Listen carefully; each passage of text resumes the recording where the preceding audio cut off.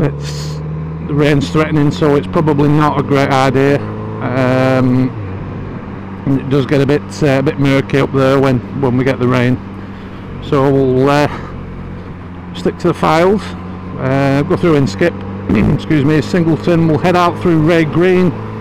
And we'll up at St Anne's and uh, that'll do just for the uh, the pilot test with this because it's not going to be perfect so I don't want to be putting too much time and effort into it um, to discover it needs all sorts of work.